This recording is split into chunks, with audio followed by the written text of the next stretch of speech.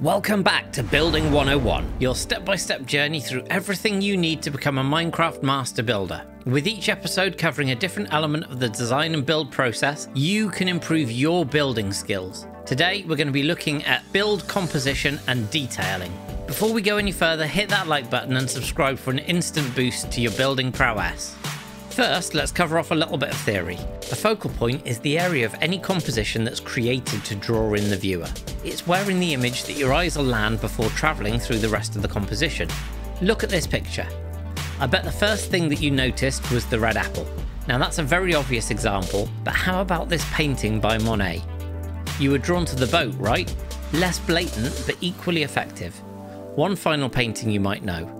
Were you drawn to the centre of the chest before moving up to the face? Each of these images has been deliberately designed to make you notice one particular element first. It adds interest to the image and makes the viewer feel more of an emotional connection to it. It's done by creating difference or contrast in the composition. Let's have another look at the three images.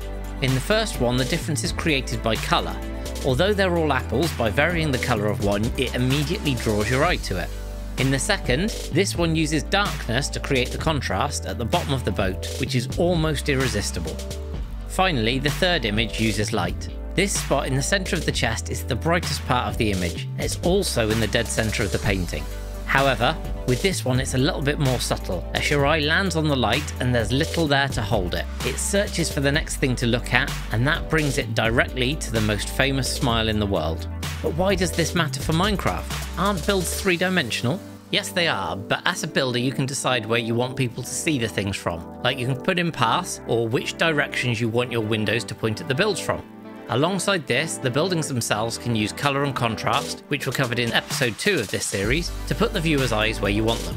Other ways you can do this are by using lines or light to draw people into your builds. You can also use areas of detail to achieve this. One important element to consider on focal points is, when there's too much going on, builds are difficult to take in as the eyes have too many things to focus on all at once. Many people think the more detail the better. This isn't true. This can make builds seem cluttered and too busy. It's normally better to pick a couple of major details that become the focal points of your build, as the mind will naturally fill in the details in the other areas around this within the peripheral vision.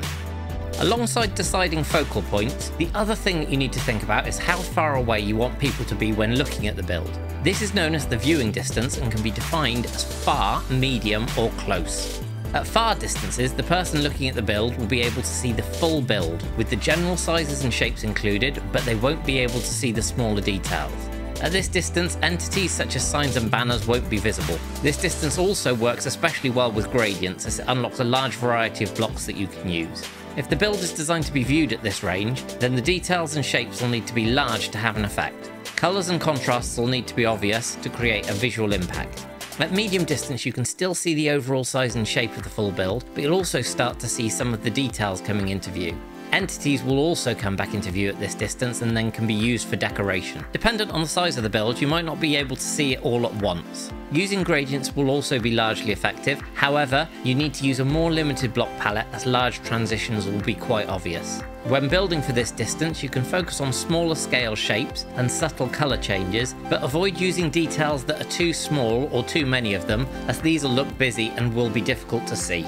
Finally, at close range you'll lose sight of the whole build and it will become abstract, with the details becoming more important to understand the purpose of the building. Blocks and details barely visible from other distances will have extra impact, but all but the most subtle gradients will look out of place. At this range, the player will be able to get different views of the build just by changing the direction that they're looking, which means more focal points can be utilised. Close viewing distance will include interiors on all but the biggest builds. For most builds you'll need to consider a combination of these three distances, so look at the build and see which parts will be visible from the three different ranges and plan your decoration accordingly. There's no point adding intricate details where they'll hardly be visible and will just make the build look too busy. Likewise, if the player is up close and personal to the build, then large blank areas will look too empty and out of place. That is, unless you're going for a style that embraces that like minimalist or futuristic.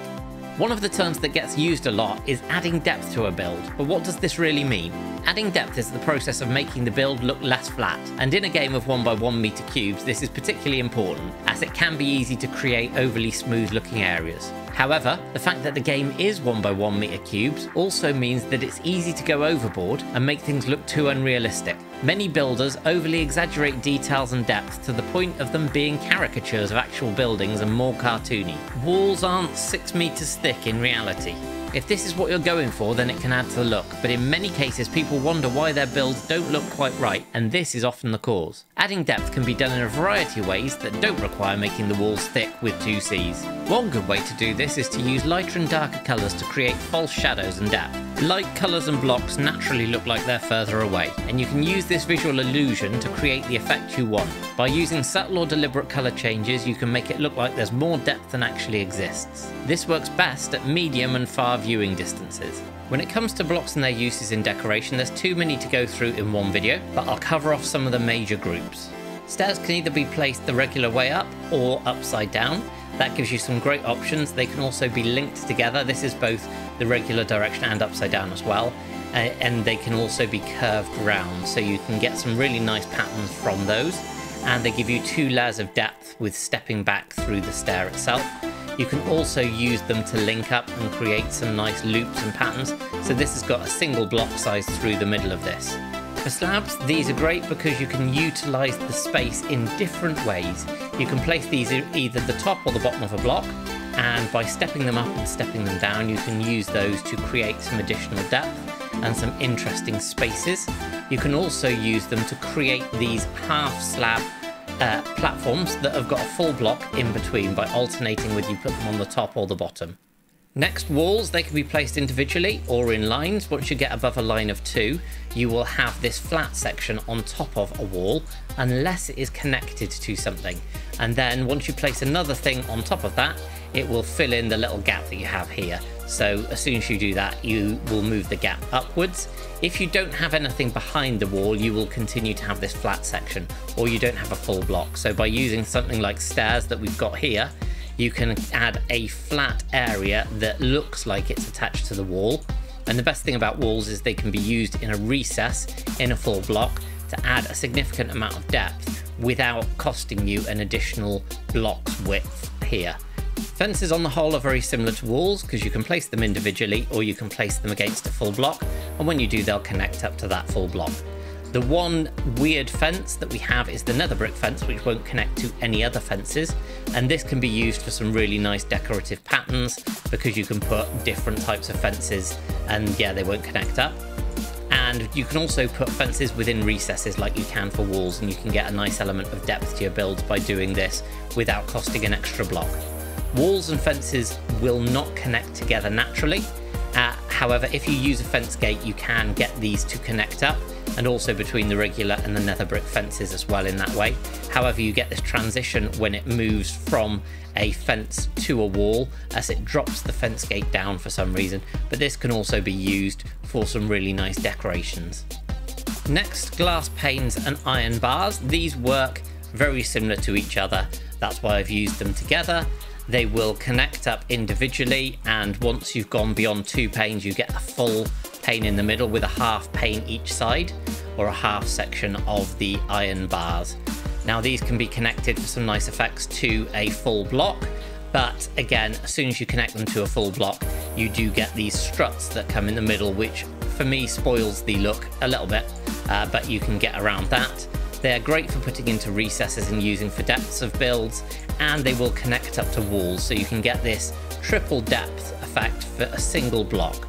So you've got a full block, then the wall, then the glass pane, and you get these three obvious different transitions.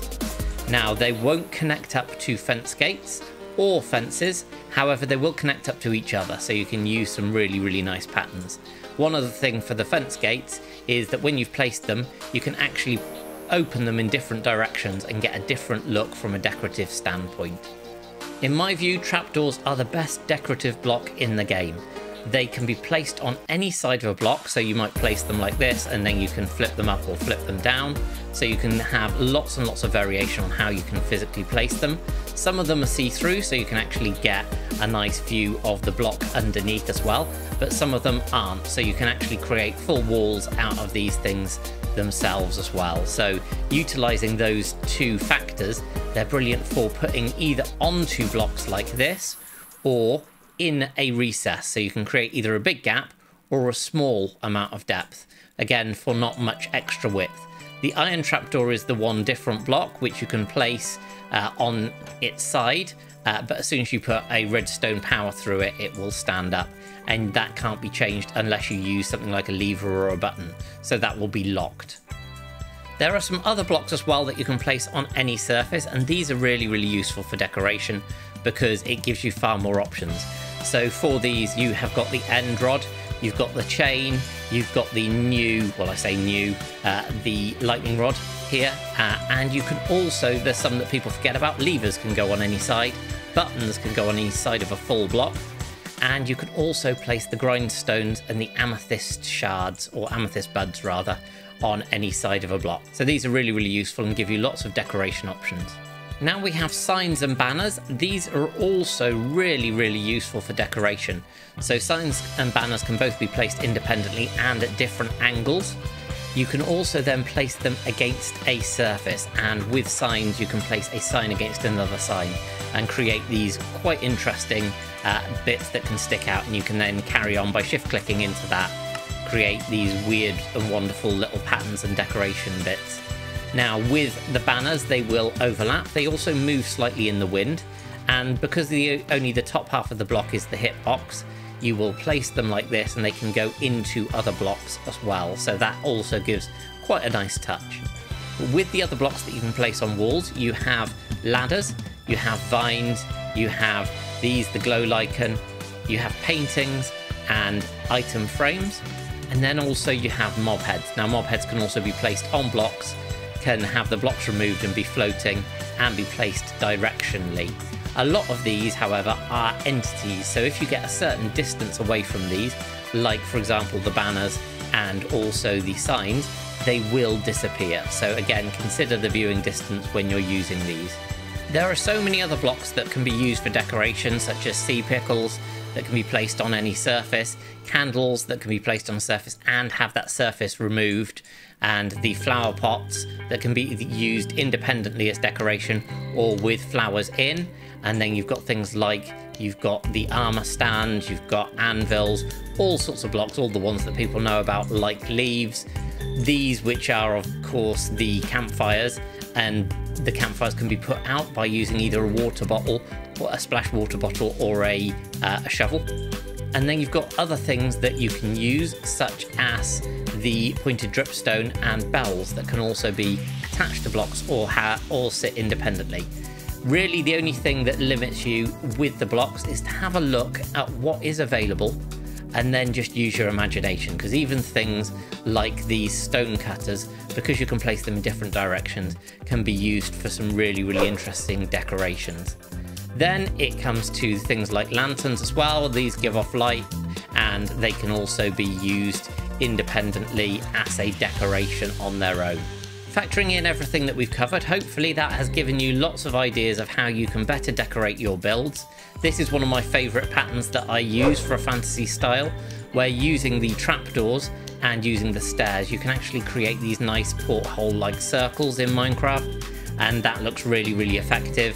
And when you look at the other side as well, given that this is only just over two blocks deep, you've got a really, really nice interior surface to your builds too. So that's another idea for you. But I hope you've enjoyed this video. I hope it's been helpful. Hit that like button, hit that subscribe button, and let me know in the comments what you'd like to see on future episodes. And I will see you all next time on AdieCraft.